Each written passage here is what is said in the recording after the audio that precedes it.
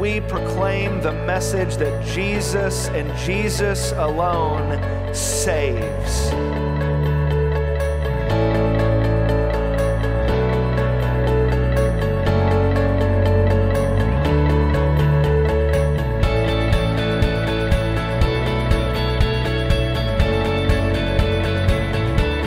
Jacksonville needs you and me sharing our faith in a powerful Christ who alone saves.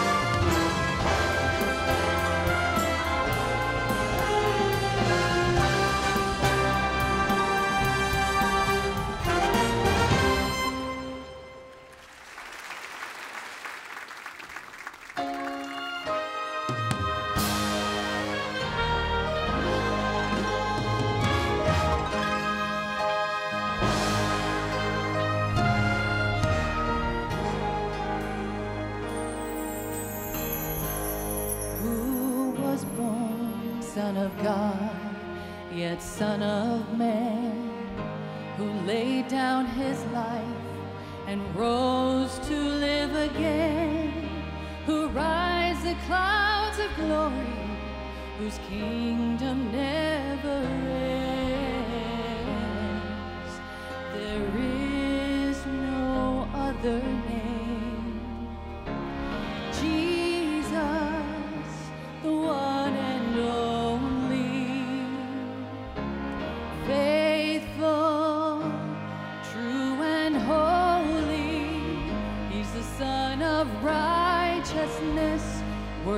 of the glory.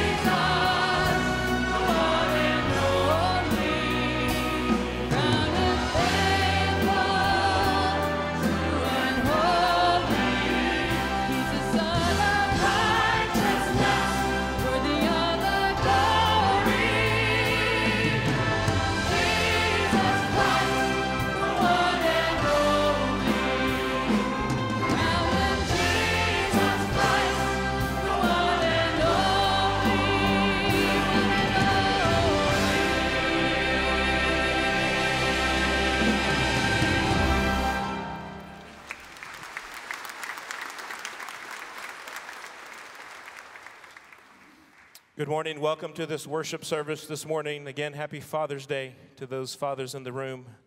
Let's go to the Lord in prayer. Heavenly Father, we come to you acknowledging that anything good in any of us earthly fathers is merely a reflection of the perfections in you. Thank you for being our perfect Heavenly Father and calling us your sons and daughters. Thank you that we can come together and worship and enjoy the love, the perfect love, the unceasing love of a kind Father who does all things for the good of his children. Lord, we pray that those who are earthly fathers will be inspired today. We pray that those who are carrying out the role of earthly parentage will be equipped and encouraged. But we pray above all else that your Son, who surely is the pride of heaven, will be high and lifted up. Thank you for the great honor it is to gather and worship. May we join together with unity, one heart, one voice in praise to worship you. In Jesus' name, amen. Well, we as earthly fathers know the pride that there is in seeing our sons and daughters do well. It is a feeling that is hard to prepare for when you first recognize how much that child means to you, and to see them succeed just does something in your heart that you were not prepared to experience. How much more the Father who delights to see his Son exalted in his accurate perfections. Let's worship the Son this morning in honor of the Father, the Heavenly Father. Let's stand as we sing.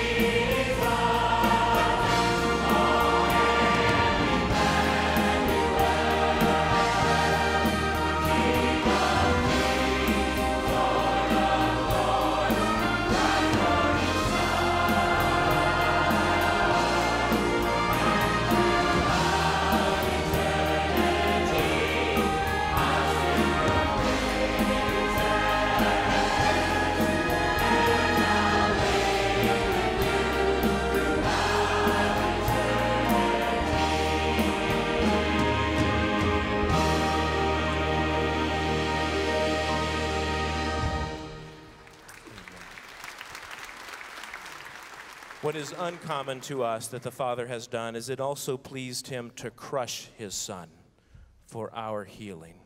We have no ability to understand what that love is, but we are beneficiaries of that love. We will celebrate his name again, but remember that he was given on our behalf, the Son, for us, that we might know the privileges of being a child of God. Let's sing, Oh, praise the name.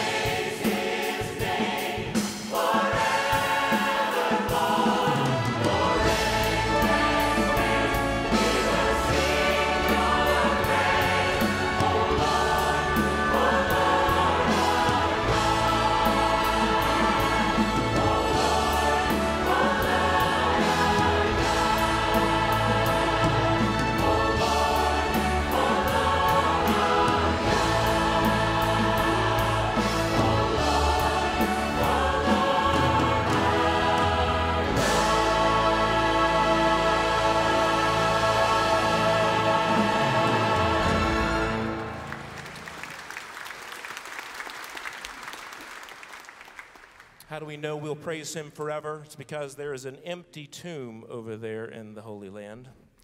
There's a place where a body once lain and is now empty. And there is a Savior in heaven who reigns over all things. And we will be able to enjoy his presence forever. Until that day that forever begins, we know we can live this life for his glory and for his good because he lives.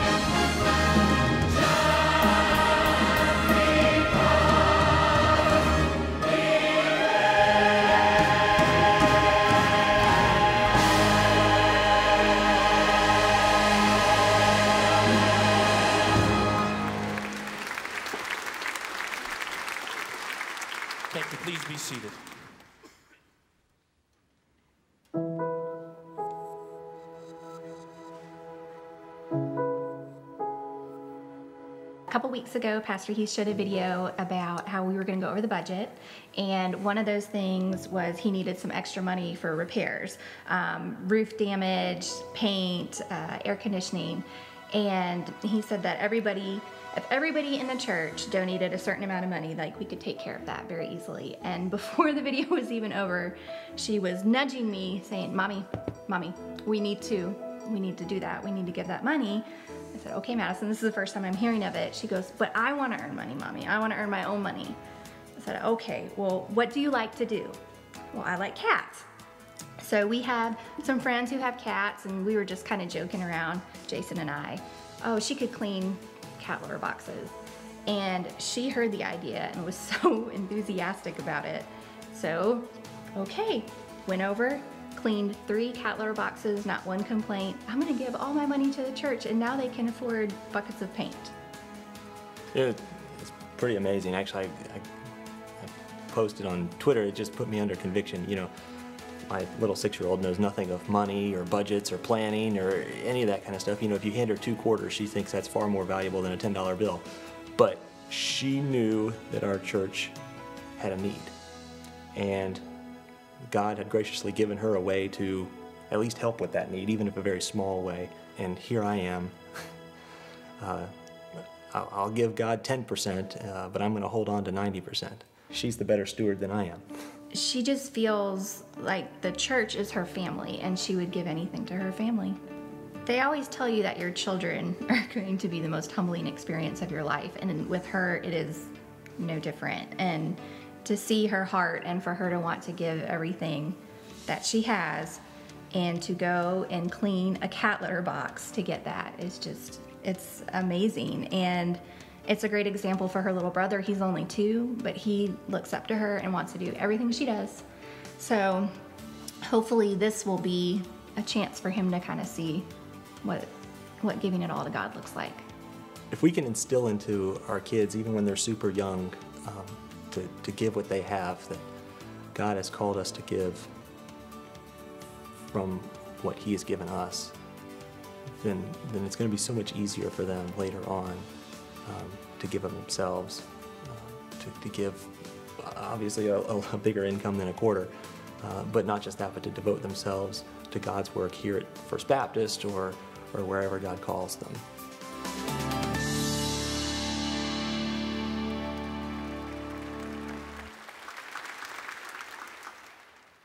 That's an incredible story. I hope we all have faith like children. If you'd stand with me, we're going to read scripture together this morning.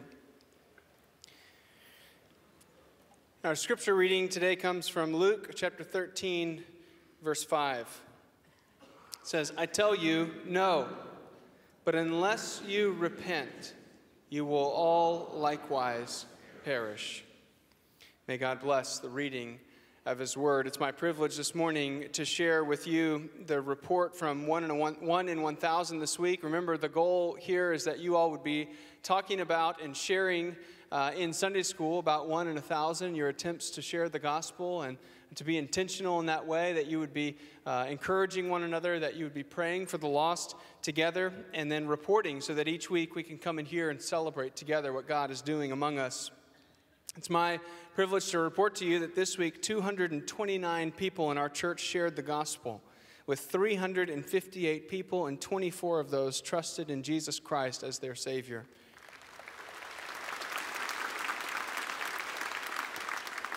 Since we've started keeping track, we've shared the gospel with 11,821 people and seen 670 people trust in Jesus Christ as their Savior. And I want to encourage you to continue striving to be faithful and to share with those around you the life giving message of Jesus Christ. As you just saw in the video, we are in the middle of a special giving uh, season where we are taking this month uh, to give to what we're calling Project 375 to try to meet some of these capital needs that we have as a church some failing elevators, failing media equipment, and failing air conditioners, things like that, that are sort of all hitting at one time. And so we're trying to meet that need faithfully. Uh, so we want to encourage you to consider giving $375 above what you normally give.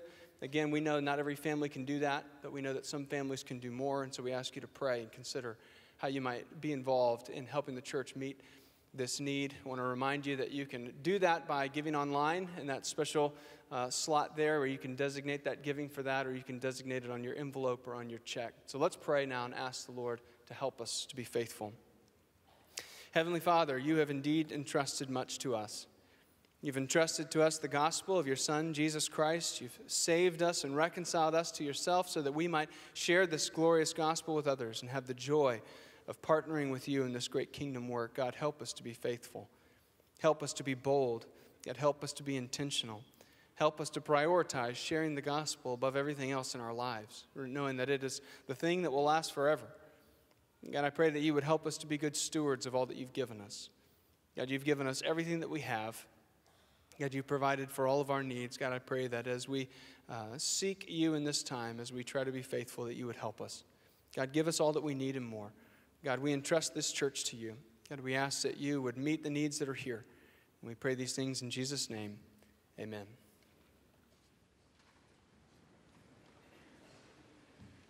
Música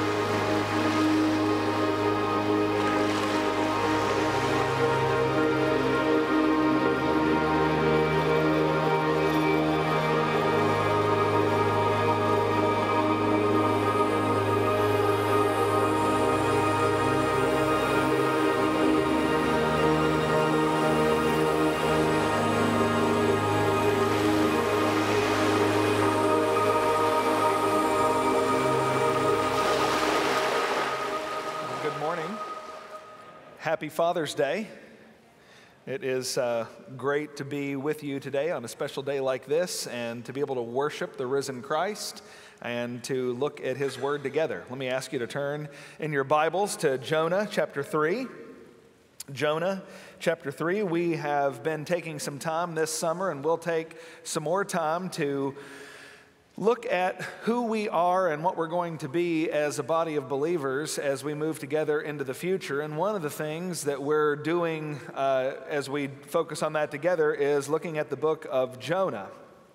And when people think about the book of Jonah, a lot of times what they think about is this great big fish that we talked about last week. But really, what we're going to see this week is that the high point of Jonah and the high point of the whole narrative really happens in Jonah chapter 3. The fish was important to get Jonah someplace.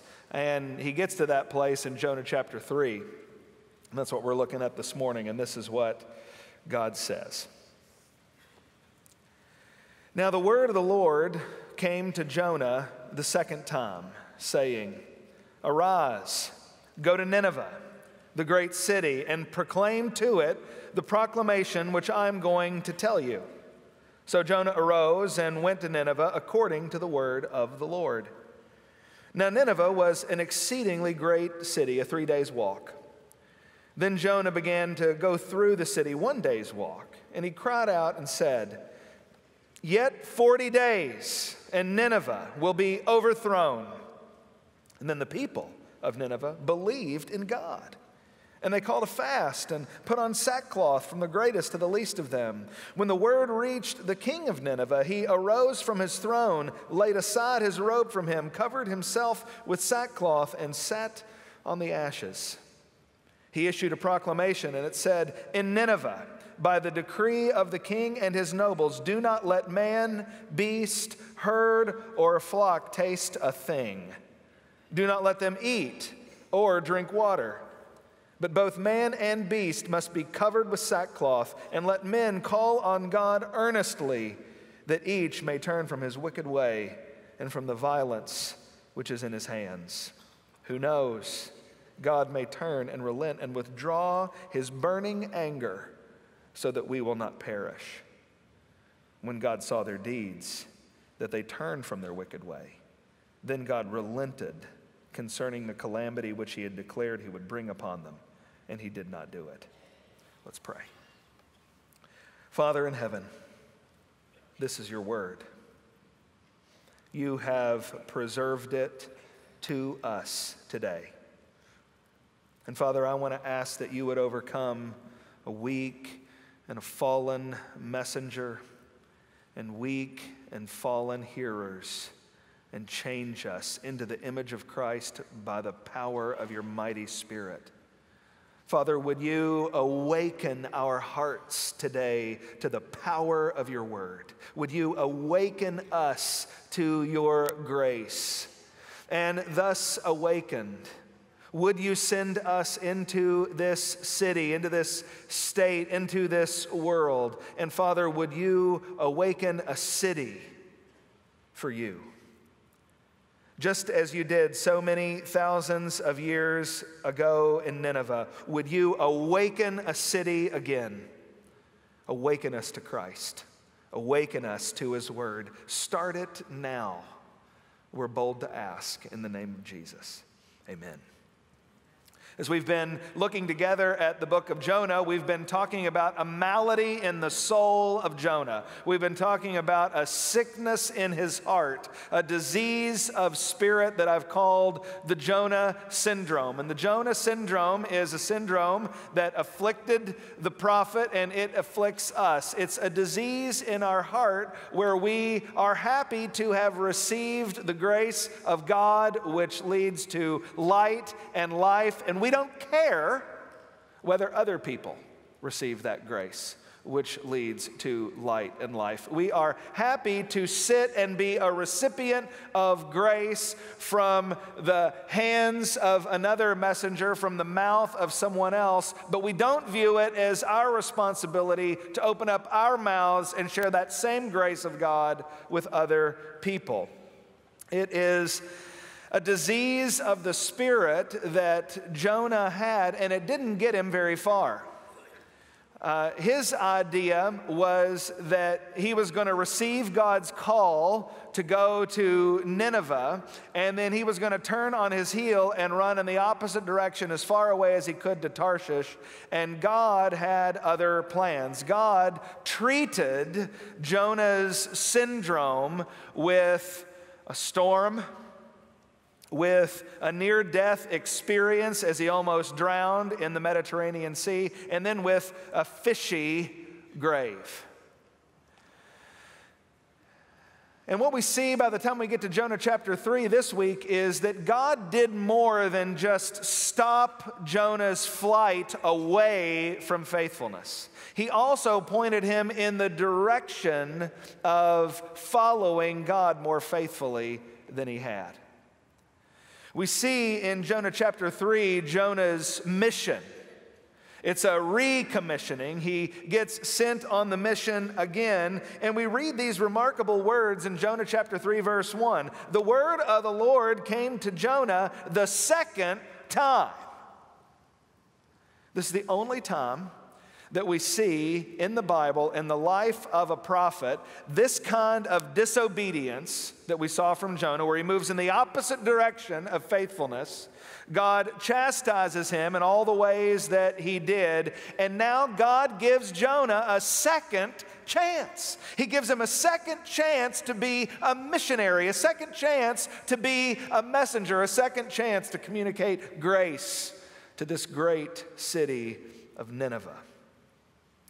The second time that the word comes to Jonah, the calling is a little bit more open ended than it was in Jonah chapter 1. Chapter 3, verse 2, God says, Arise, go to Nineveh, the great city, and proclaim to it the proclamation which I'm going to tell you. In chapter 1, verse 2, he said, Arise, go to Nineveh, the great city, and cry against it, for their wickedness has come up before me. It's a little more vague the second time. It's as though God is saying, Hey, I'm giving you a second chance here, but you're going to go and you're going to say whatever I tell you. There's no warning about what that might be. There's no foreshadowing about what it might be. It's just you go and you be obedient and you say whatever I tell you to say when you get there. Jonah responds differently to this second call than he did the first time he received it. When he received the first mission, God said in Jonah chapter 1, Arise and go to Nineveh, the great city. And verse 3 says, But Jonah rose up to flee to Tarshish, away from the presence of the Lord. That's not what he does this time in Jonah chapter 3, verse 3, it says, So Jonah arose and went to Nineveh according to the word of the Lord. Jonah has been beaten into submission by the sovereign God. A storm, a near drowning, and three horrible days in the belly of a fish has taught Jonah that running away from God and faithlessness to a city is not what it's cracked up to be. And so Jonah heads off in the direction of Nineveh. This time, he's going to obey. God told Jonah, I'm going to give you a message when you get to Nineveh.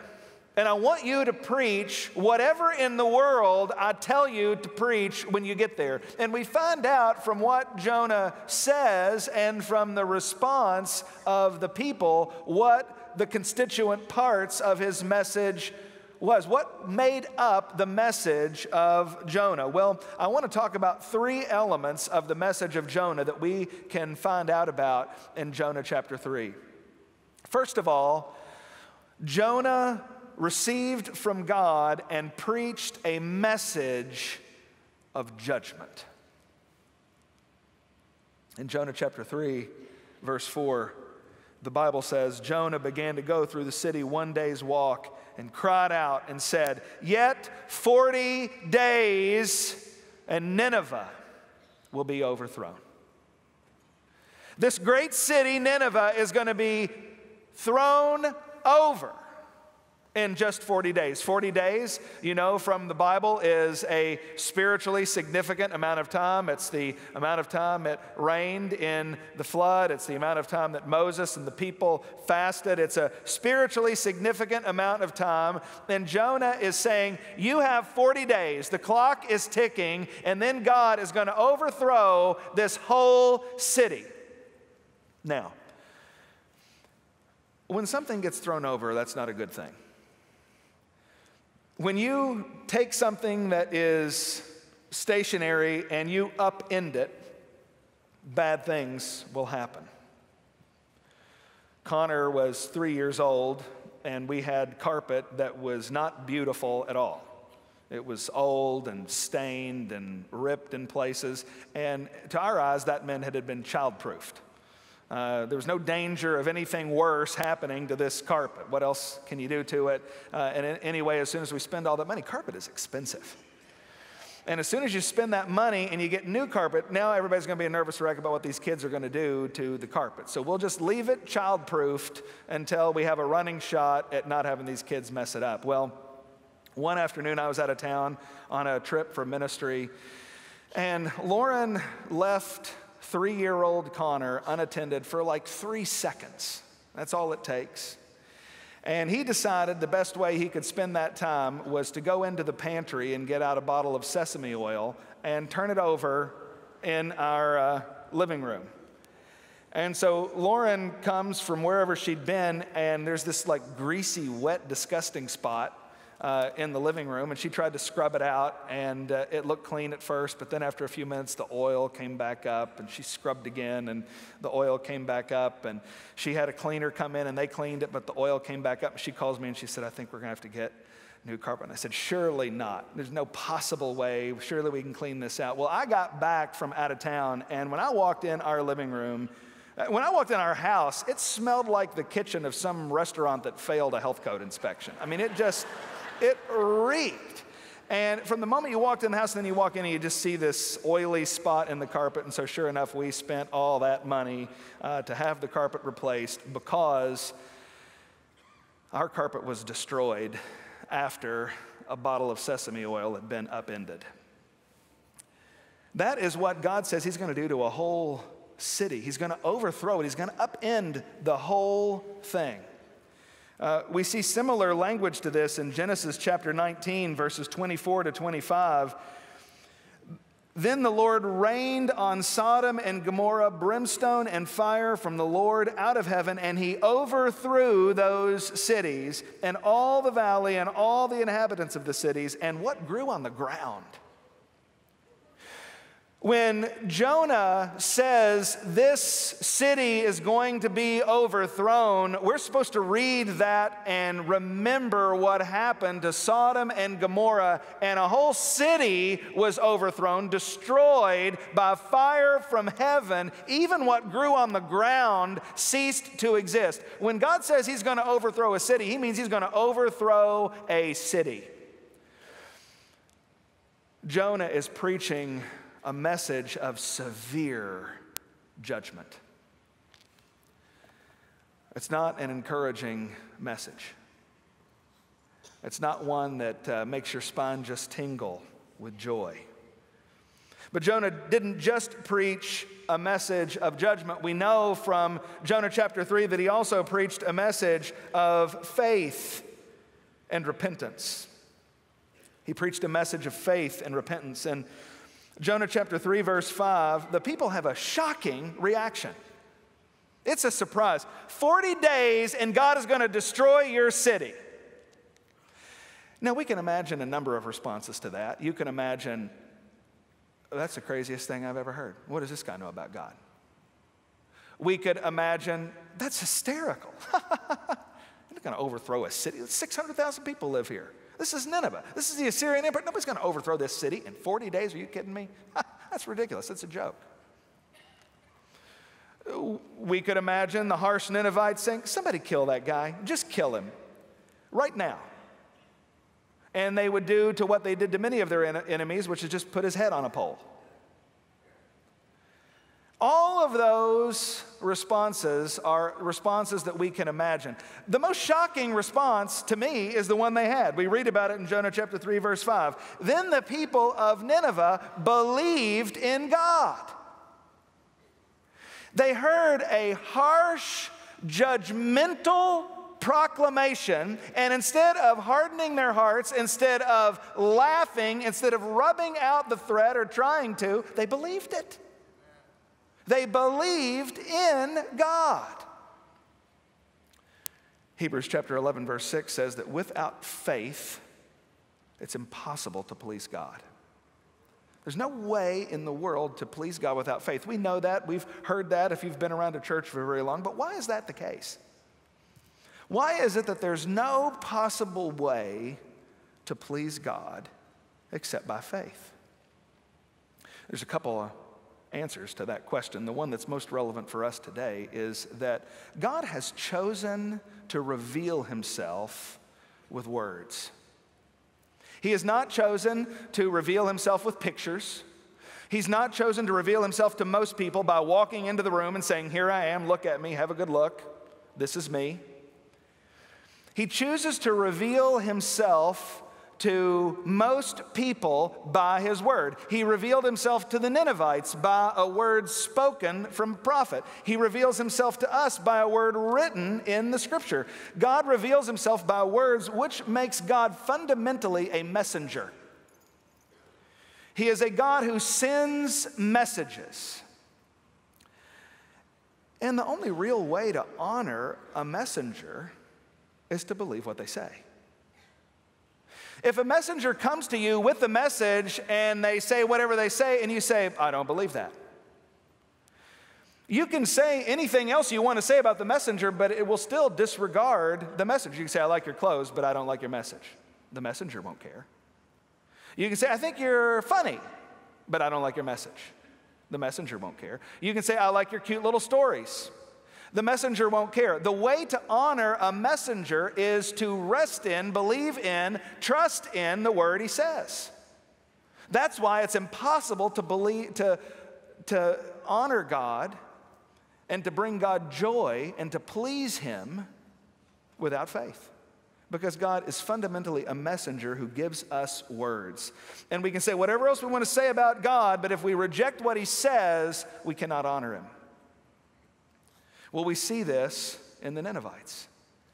The Ninevites hear a message that would not be, if you would go to a marketing firm. Let's say First Baptist Church is going to go to a marketing firm and say, hey, tell us what message we ought to give to people. They're not going to tell us to say to people, in 40 days, you're all going to be dead. This is not a message that is calculated to win over people, but that's exactly what it does because when God works, He works through the message He sends and not through the message we create. And so the people hear this harsh message you're about to die, and they believe it. And they don't just believe that it's true, they respond in a different way. We learn from the text of Jonah chapter 3 that Jonah preached a message not just of faith, but of faith and repentance. We see brokenheartedness, we see contrition on the part of the Ninevites. In verse 5, it says, The people of Nineveh believed in God, and they called a fast and put on sackcloth from the greatest to the least of them. When the word reached the king of Nineveh, he arose from his throne, laid aside his robe from him, covered himself with sackcloth, and sat on the ashes. He issued a proclamation, and it said, In Nineveh, by the decree of the king and his nobles, do not let man, beast, herd, or flock taste a thing. Do not let them eat or drink water, but both man and beast must be covered with sackcloth. There is this outward display of brokenness in three ways. There is fasting, there is the wearing of sackcloth, and there is the reality that they are seated in ashes. This is a common reality in the Bible that when people turn to God in seriousness and in devotion, it is communicated in ways like this, which, which were culturally significant at the time. In Nehemiah chapter 9, upon hearing of the sin of the people at the rebuilding of the temple, we read in Nehemiah 9 1 to 2 Now, on the 24th day of this month, the sons of Israel assembled with fasting in sackcloth and with dirt upon them. The descendants of Israel separated themselves from all foreigners and stood and confessed their sins and the iniquities of their fathers. Daniel, upon hearing what God had planned to do and had said he would do in the prophets, Daniel in Daniel chapter 9, verse 3 says, I gave my attention to the Lord God to seek him by prayer and supplications with fasting, sackcloth, and ashes. The point of the sackcloth and the ashes and the fasting is to communicate such brokenness over sin that I will receive no earthly comfort. I'm not going to eat anything. I'm not going to wear anything that's comfortable. I'm not going to sit in a comfortable chair. I'm going to place a burden of hunger in my belly. I'm going to wear itchy clothes on my back, and I'm going to sit in ashes, communicating that what's, what once had been mighty is now burned to the ground. It's, it's demonstrating the total destruction of any sort of self made glory. Another thing these things do is it communicates equality. The king does it. It doesn't matter how rich you are, it doesn't matter how powerful you are, you're going to have the same thing to eat as anybody else. You're going to have the same harsh, scruffy clothing on your back as anybody else, and you're going to sit in the same ash heap that everybody else does. And it's not just erasing the distinction between kings and nobles and commoners, it even, in Jonah chapter 3, erases the distinction between people and animals. Even the animals are wearing sackcloth, even the animals are fasting. This is an extreme pronouncement that we want to communicate brokenness over sin. But it's not just an outward show of religiosity. Verse 8 says, Both man and beast must be covered with sackcloth, and let men call on God earnestly, that each may turn from his wicked way and from the violence which is in his hands. This isn't just an outward display of repentance, this is real repentance. The king says, Look at your wicked hands and turn away from what you've done with them. Be truly broken over the violence that you've committed. Jonah preached a message of judgment, but he also preached a message of faith and repentance. Third, Jonah preached a message of grace and forgiveness. They did all these things. And in verse 9, it says, Who knows? God may turn and relent and withdraw his burning anger so that we will not perish. The people had reason to believe that if they would repent and turn from the wickedness that they had done, that God would have mercy and forgive. That's in fact exactly what he did. Verse 10 when God saw their deeds, that they turned away from their wicked way. Notice it doesn't say when God saw the sackcloth and the ashes and the fasting. He doesn't examine their outward display of religion. He examines their actual response. When he saw their deeds, that they turned away from their wickedness, then God relented concerning the calamity which he had declared he would bring upon them. And he did not do it. There's judgment in Jonah's proclamation, but there's grace and mercy in what he preached as well. There is mercy in God's pronouncements of judgment. This is so important for us to understand. It's so important for us to let this sink in. Because when we understand that there's mercy in God's pronouncements of judgments, it will change the way we speak and think about those pronouncements of judgment. Whenever God sends an outpouring of grace and mercy, whenever in the Bible or in church history, when He has poured out His Spirit for an abundance of grace and mercy, He always begins that work with an overwhelming awareness of guilt for sin. You can't have the grace and the mercy of God without knowing what the grace and the mercy covers.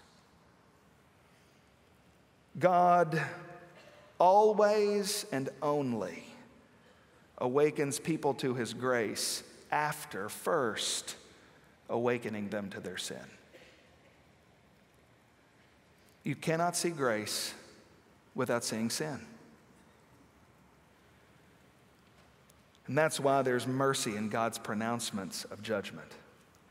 Is because if you are here today and you have a profound awareness of your sin, if you would look at your hands and see they are wicked, not just the hands of the Ninevites, if you would be aware that your tongue is wicked and that your thoughts are wicked and that your actions are wicked, if you can see that God is showing you that sin and His mercy is very close, His grace is not far.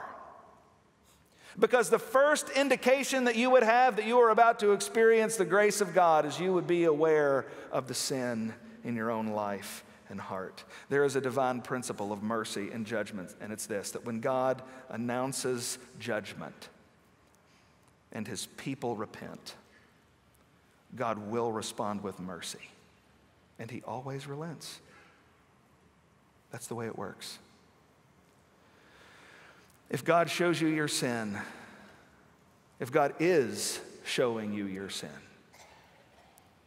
that you're far away from Him, that you don't do what He wants you to do, and that you do what He doesn't want you to do, and you say and think things that He hates, if God is showing you that that's true today, then that's the first indication you would have of receiving His mercy. It's true in Jonah.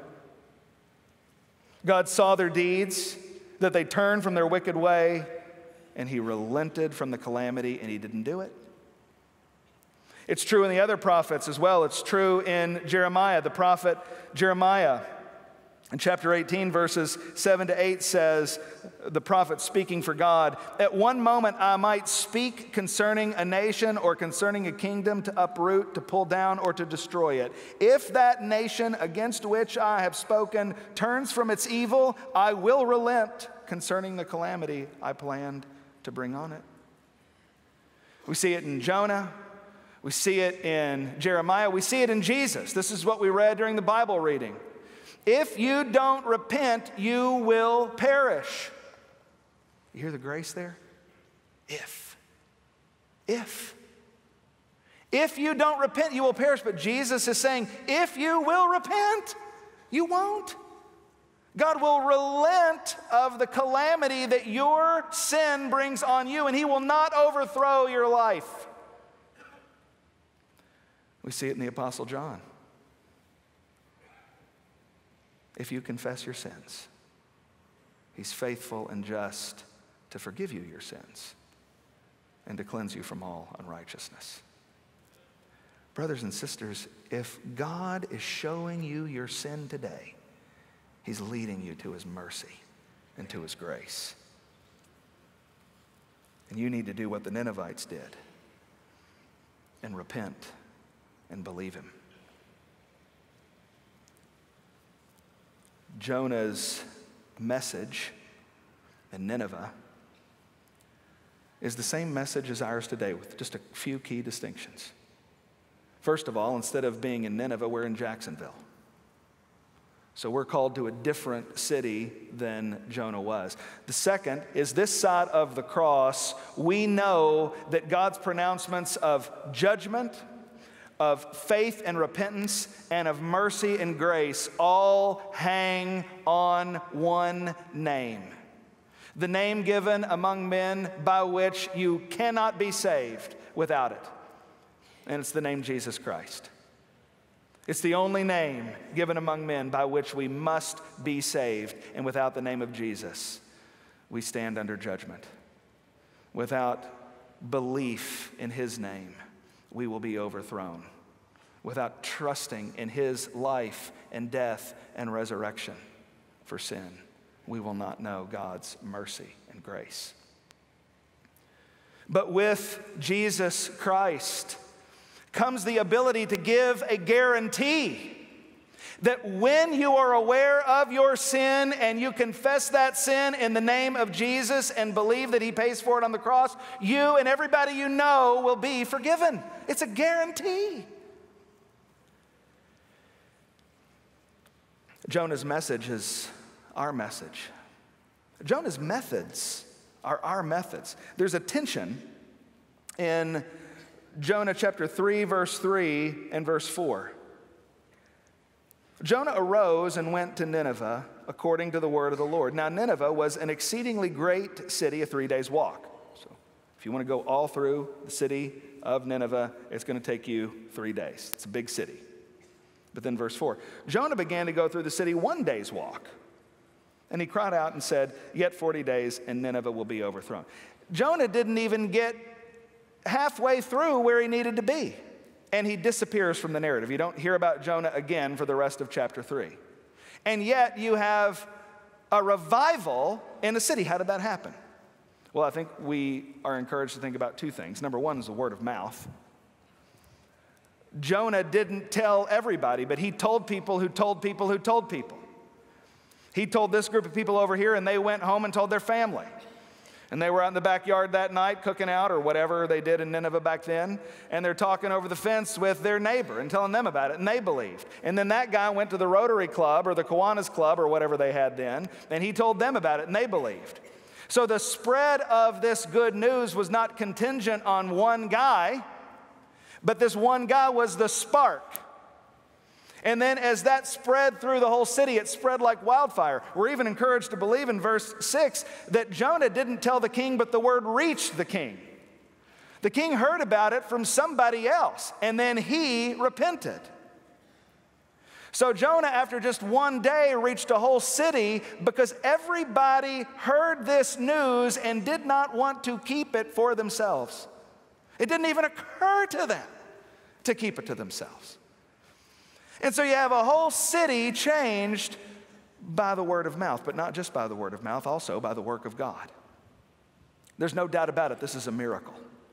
There's no doubt about it that it takes God and His work to save hundreds of thousands of people. There is no doubt about it that it doesn't matter how good a preacher you are, how good a messenger you are, how relational you are. There is no amount of sharing this message that will change someone's heart. God has to show up and God has to do it. And what I want to say to you this morning is that what Jonah saw happen in Nineveh is what we need to work towards in Jacksonville. That is our job in this city to fight against the Jonah syndrome and receive the grace of God such that it would never occur to us to be quiet about it but that we would go out into the city with a message of judgment. Yes, you are dead in trespasses and sins. But also with a message of mercy and grace that if you will repent and believe in the Lord Jesus Christ, you'll be saved. Everybody in Jacksonville, a million and a half people, can be saved by the name of Jesus Christ. It will take our speaking and it will take a work of God. It is way above our pay grade to decide what God is going to do in this city. But it is our responsibility, because God has made it our responsibility, to reach Jacksonville for Jesus Christ, to share the good news of Jesus Christ with everybody who will listen. I've been telling you for uh, a couple of weeks now that in January we're going to launch a uh, new and a systematic and a church wide program to take the gospel to this city. I want to let you know today what we're going to call that. We're calling it Reach Jacksonville.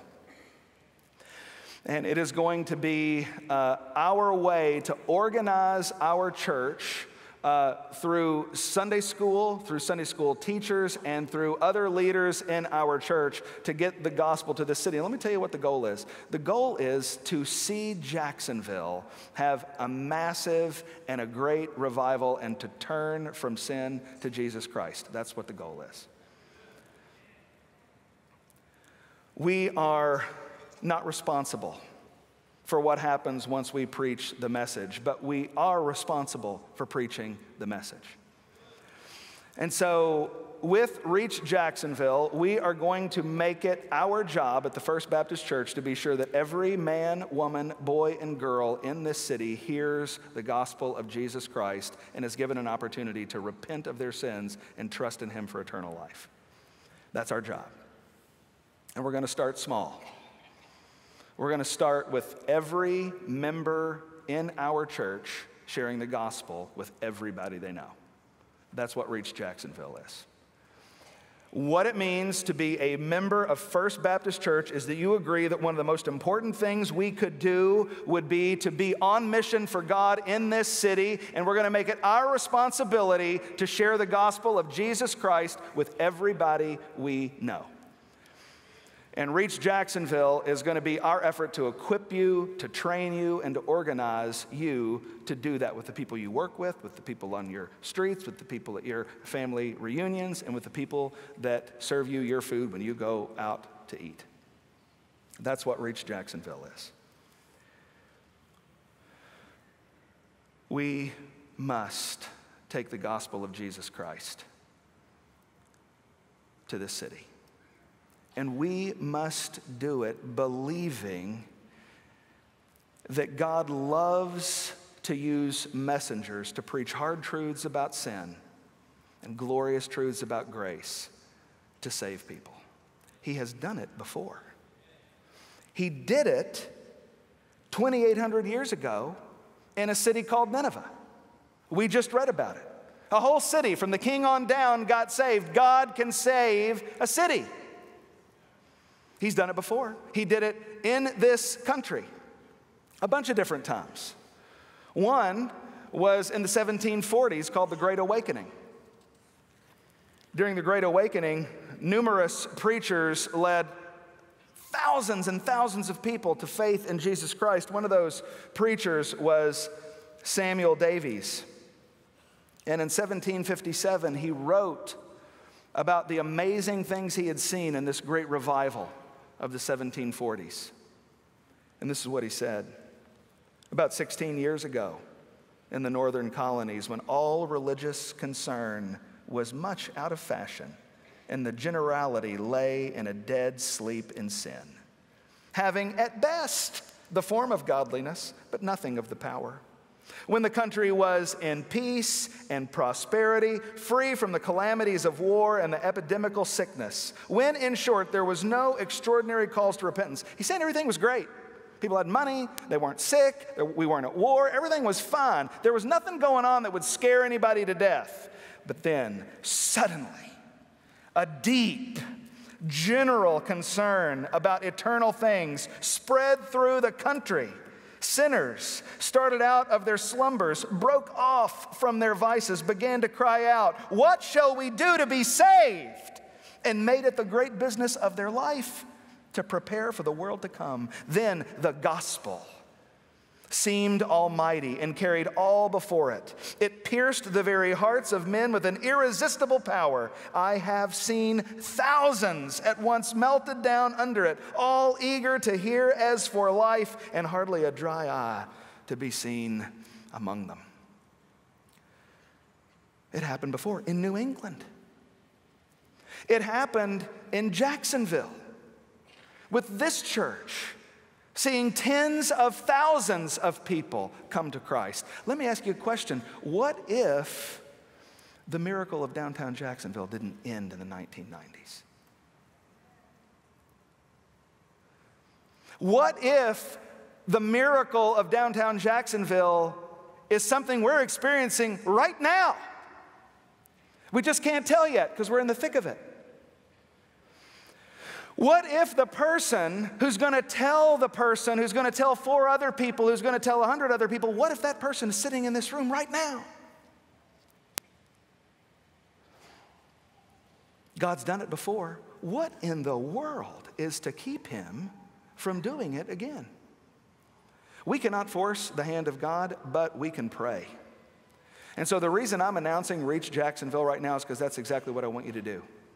I want you to spend the next few months praying that God would save this city.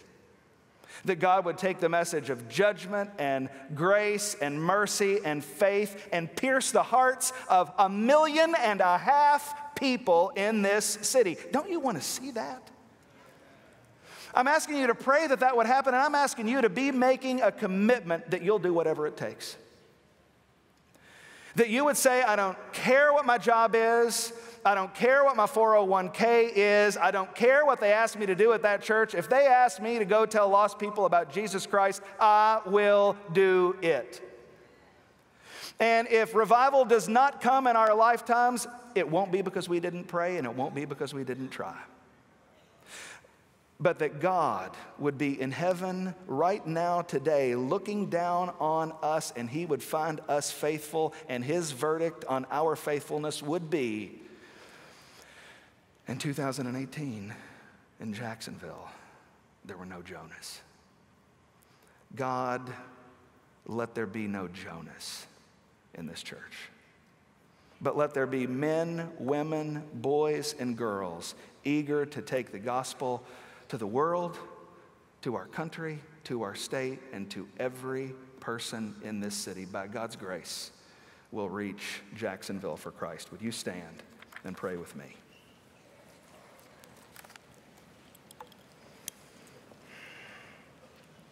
Father in heaven, you are a God of grace and mercy. And we can anticipate from your word the outpouring of your grace and mercy when the truth is being told about sin and righteousness. And so, Father, we are asking you to do what only you can do. First, lead us to be a people who don't just receive your grace and mercy, but who share it with a lost and a dying world. And we are asking that you would go before us, and even now, You'd be preparing the hearts of hundreds of thousands, a million and a half men and women to see their sin, to turn from their sin, and believe that in Jesus Christ there is no penalty for their sin. I'm praying for a city who would speak the name of Jesus. I'm praying for a church that would fight this sickness of heart that Jonah had with everything in us. And we would desire, as those who have received grace, to share it with everyone we know. And we pray it in Jesus' name. Amen. The prophet Isaiah says that the word never goes out and returns void. And so every week we have a time of response because the word works. For some of you, Maybe you've never realized before that your hands and your mouth and your feet and your minds are wicked, and you will be overthrown if you don't turn from your sin and trust in Jesus Christ. If you want to do that this morning, we have people down front who want to talk with you and pray with you and help you know how you can have confidence that your sins are forgiven in Christ. Maybe you're here this morning and you're a Jonah. Not as famous as he was, but you've got the same sickness of heart. And you would say, I'm not going to fight. I'm not going to run to Tarshish. But by God's grace, I will give my life for the preaching of the gospel in this city. If that's you and you'd like to respond, these people would love to talk with you and pray with you as well. And you come as we continue in worship.